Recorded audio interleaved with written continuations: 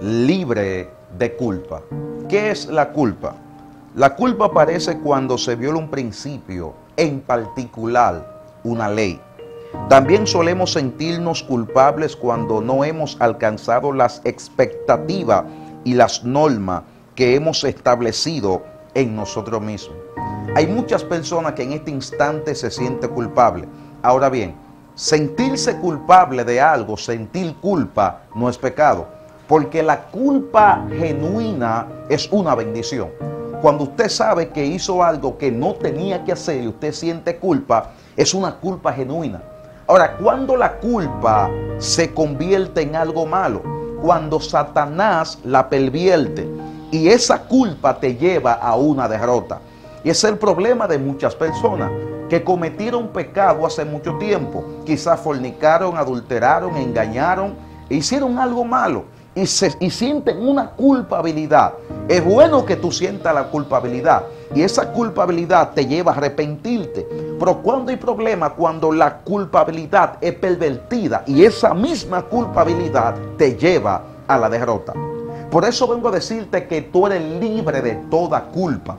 Jesucristo murió por ti para perdonar tus pecados, para levantarte, restaurarte y que toda culpa salga de tu vida. Tenemos una historia muy poderosa de algo que le pasó al rey David. David cometió un pecado y cuando cometió ese pecado, él trató de ocultar el pecado. Todo estaba marchando bien aparentemente. Cuando el profeta llegó hacia él, que él confiese el pecado, me llama la atención porque en el Salmo 51 él comienza a hablar, él comienza a confesar, él comienza a hablar con Dios. Y si usted va al Salmo 51, él comienza diciéndole a Dios que perdone sus pecados, perdone su falta, porque él sentía una culpabilidad en él. Pero cuando él confiesa su pecado, cuando él se aparta de su pecado, Dios lo perdona. Hay muchas personas que se quieren levantar. Y yo sé que muchos de los que están viendo este video le pasa eso. Que cuando se quieren levantar, escuchan la voz del enemigo que le dice, tú no puedes levantarte porque acuérdate que tú cometiste un pecado el año pasado. Acuérdate que hace dos años, hace tres años, tú cometiste un pecado y esa persona se siente cabizbaja y dice, cierto, soy un pecador. No puedo levantarme porque siento la culpa. Permítame decirle que esa culpa ha sido pervertida para llevarte a una derrota. Pero Jesús te está diciendo, yo morí por ti. Yo di mi vida por ti. La clave es confesar tu, pecado, apartarte de ello para que reciba la gracia de Dios en tu vida y en los tuyos. Hay muchas personas que están diciendo, varón, es que cuando me quiero levantar no puedo. Siento más batalla, siento más lucha. Tienes que levantarte en el nombre de Jesús y decirle a toda culpa te echo fuera. Todo espíritu de culpa, toda malicia que te rodea, que impide que te levante, salga de tu vida, salga de los tuyos, porque eres libre de toda culpa. La Biblia enseña que si nosotros decimos que no cometemos pecado, hacemos a Dios mentiroso, porque todos pecamos. La Biblia también enseña por cuanto todos pecaron. Romanos capítulo 3. Por cuanto todos pecaron, estamos destituidos de la gloria de Dios. Pero para eso apareció el Hijo del Hombre, para librarnos, para liberarnos, para romper las cadenas que nos atan y yo creo fielmente que tú serás libre de toda culpa. Oiga que dice Colosenses capítulo 3 versículo 14. Colosenses capítulo 3 versículo 14. Y sobre todas estas cosas vestío de amor, que es el vínculo perfecto. Wow. Esta palabra es muy poderosa la que Pablo está diciendo sobre todas las cosas, vestido. ¿De qué? ¿De qué? De amor, que es el vínculo perfecto. Hay muchas gente que necesitan ser libres de ese espíritu de culpa. Yo me he encontrado con personas que he estado hablando con ellos diciéndole que Cristo le ama, que Cristo puede salvarlo, Y dicen, varón, lo que pasa es que lo que yo cometí no me deja avanzar. Lo que pasa es que lo que yo cometí no permite que yo me entregue a Dios. Porque hay gente que se siente más pecador de la cuenta. Y permítame decirle, yo no sé cómo se llama tu pecado. Yo no sé cómo se llama tu falta.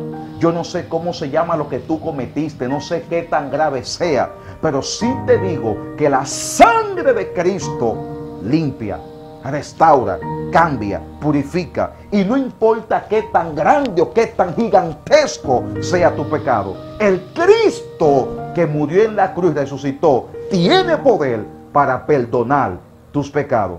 Es que no existe pecado tan grande que Él no pueda perdonar. No existe pecado tan gigantesco que Él no pueda perdonar. Por eso Isaías entendiendo esto, dijo, aunque nuestro pecado sea rojo como el carmesí, tú, mi Señor, mi Dios, lo convertirá blanco como blanca lana. La culpa genuina es una emoción sana, como decía. Satanás puede pervertirla haciendo que pase de una conciencia que se lamenta por haber hecho algo malo, hacer un auto reproche. Cuando sucede esto, sabemos que Satanás ha pervertido una emoción sana en una alma mortal. Cuando la culpa lo ataque, en lugar de regodearse en su culpa hasta el punto de la derrota, ore. La clave para poder derrotar la culpabilidad es orando. Segundo, arrepintiéndote. Es que repito, no hay pecado tan grande, tan gigantesco, tan enorme que la sangre de Cristo no lo pueda limpiar. En tiempo atrás, cuando alguien pecaba, mataba un macho cabrio, un palominio, mataba una vaca, y automáticamente el pecado se iba, pero el pecado era tapado. Ahora cuando nosotros nos acercamos ante Dios y oramos a Dios, el pecado no es tapado, el pecado es quitado, borrado. Vamos a leer dos textos bíblicos. Santiago capítulo 3, versículo 2 dice, porque todos ofendemos muchas veces. Si alguno no ofende en palabra, este es varón perfecto, capaz también de refrenar todo el cuerpo. O sea, todos ofendemos, todos pecamos, todos fallamos, todos cometemos errores. Pero qué lindo, como dice la escritura, si alguno de nosotros pecamos, abogado tenemos en el cielo. Y yo te invito a que te levantes en fe, a que te levantes como lo que eres, a que te levantes como una hija legítima de Dios, como un hijo legítimo de Dios y te levante y le diga la culpa, basta ya, porque Jesús me perdonó, Jesús me limpió, Jesús me rescató, Jesús regeneró mi mente, mi alma y mi cuerpo. Por lo tanto, soy libre del cuerpo, del alma y del espíritu. Tienes que levantarte en el nombre de Jesús.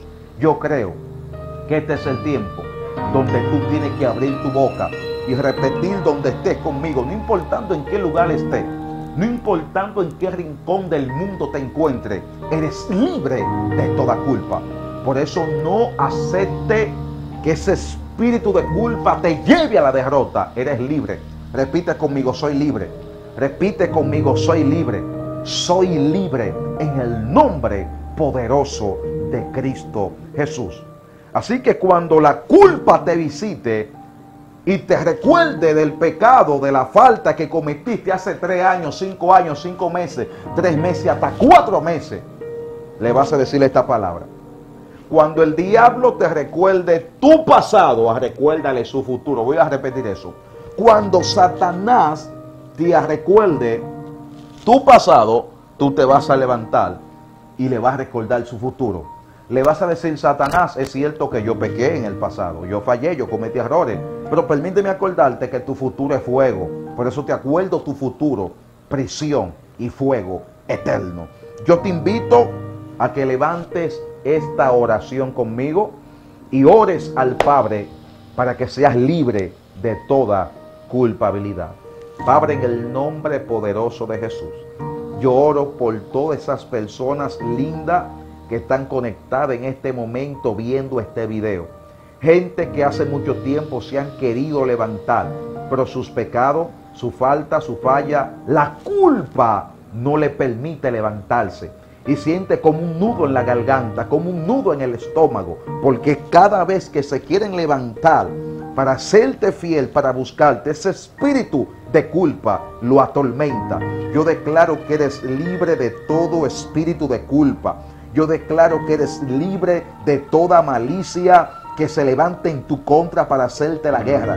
Declaro que la mano de Dios te cubre, te guarda, te bendice y rompe las cadenas. Eres libre en el nombre poderoso de Cristo Jesús. Gracias Señor. Nunca olviden que seguimos caminando con Dios. C, C, D.